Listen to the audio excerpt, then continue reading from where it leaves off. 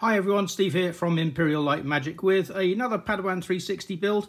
Uh, this particular person that's ordered this is going to be using Ryobi power tools for their droid. So I am testing this with a Ryobi battery as you can see. Um, this is one of my uh, pretty standard builds. Transmitter is on as you can see. Um, always turn your transmitter on first. And then if I can do this one-handed, we power that up. You can see we've got about 19 volts. And uh, in a moment or two's time. There we are, right on cue.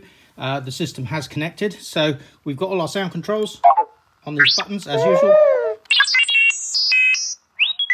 Now, this is actually a stereo amplifier. You've got two outputs. I've just got one speaker attached at the moment for uh, testing and proving purposes. So uh, we have our Syren 10 at the top left. Oh, I should have mentioned uh, the person's initials is DF for this, so thank you very much. You know who you are.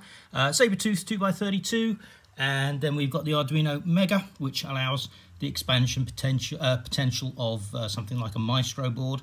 Uh, we've got the shield on top with the correct AHC style chip uh, soldered in place there, and MP3 trigger. That's about it we've got our receiver over there. So for testing, I've got a uh, geared motor over here, as you can see, which would be the equivalent of the dome, which is on the right-hand stick.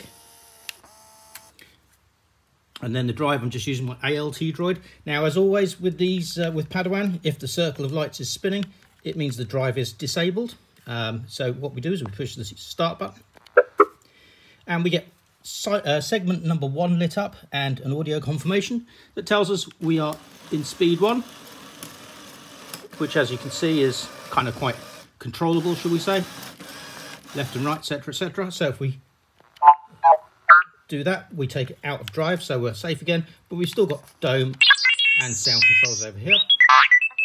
So let's go back into drive. We'll click down on the thumbstick. Segment two is now lit up, which gives us a higher top speed.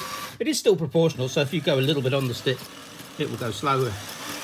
Then obviously you can accelerate. And then finally, if we click down on the stick again, uh, we get another audio uh, confirmation and segment three is lit up.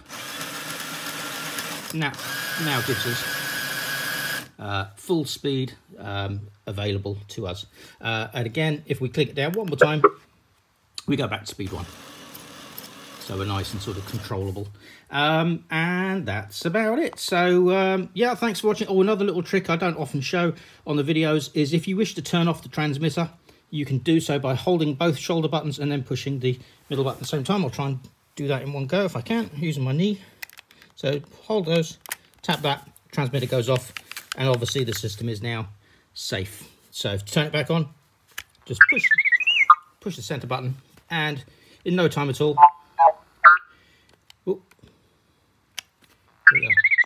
Yeah, we're back and connected again. Uh, shoulder buttons also change what kind of uh, sound the buttons do, etc, etc. do the other shoulder buttons, again, different sounds again. Uh, volume overall can be controlled by holding the right shoulder button and then tapping up or down to increase or decrease the volume as you see fit. And that's it as I say, this is on a Ryobi 18 volt power battery, uh, power tool battery, and the system works absolutely fine. You could literally stick anything from 12 to about 25 volts uh, without making any changes whatsoever. There is no need to make any other voltage regulation changes. And that's it. Thanks for watching. Thank you, DF, for your uh, kind patience for waiting for this order. And this one is ready to go. Take care. Bye for now.